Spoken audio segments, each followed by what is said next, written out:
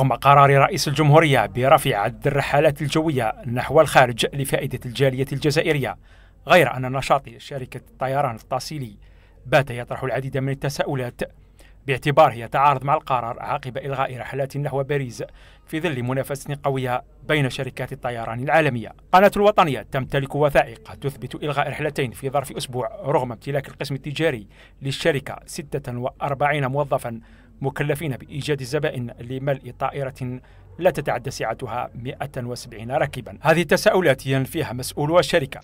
تجدر الإشارة ولتقريب الصورة إلى المشاهد العزيز أنه آه، الفصول آه، المتعلقة بالنقل الجوي الجوي تنقسم إلى آه، قسمين.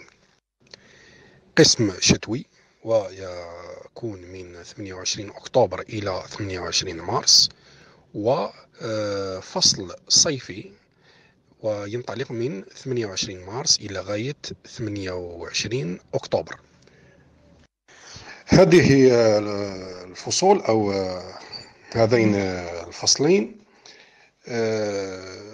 يشكلان يعني فصول الترحال في على مستوى ال IATA يعني l'Association internationale du transport aérien القضية هي محل مساءلة سيرفعها نواب البرلمان أمام وزير النقل في أول فرصة حيث تلقت قناة الوطنية نسخا عن تلك المراسلات وكذا مراسلات من عدة هيئات موجهة لرئيس المدير العام للشركة. فترات الترحال للمسافرين المستقلين لطائرات أسطول شركة طيران طاسيلي والتي تتسم باكتظاظ المسافرين في الفترة الأولى وهي فترة الدخول يعني لافاز أونتري آه، والتي تنطلق من أواخر شهر جوان إلى غاية أوائل شهر أوت يعني مجمل المسافرين آه، يقدمون من التراب الفرنسي نحو التراب الوطني ثم هناك فترة أخرى هي فترة العودة آه، والتي تتسم باكتظاظ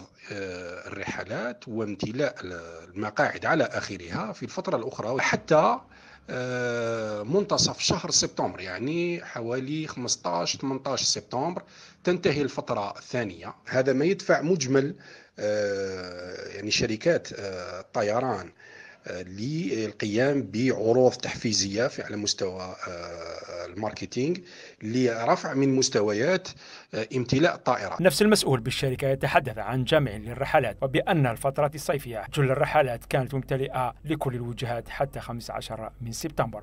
وربما هذا ما دفع بعض آه، المتسائلين عن نسبة امتلاء الطائرات وأطمئنكم في هذا الصدد. كل طائراتنا كانت ممتلئة على آخرها في كل الوجهات يعني آه، إما على مستوى الجزائر آه، ستراسبور أو قسنطينة ستراسبور الجزائر باريس شارل دوغول أو الجزائر نانت.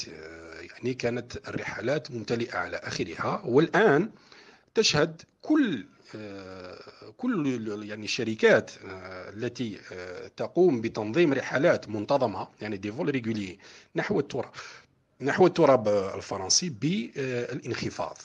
الكشف عن جميع التساؤلات من شأنه أن يخدم الشركة الوطنية للطيران ويساعد في الدفع بالاقتصاد الوطني بعيدا عن أي تأويلات قد يستخدمها البعض لمصالح ضيقة.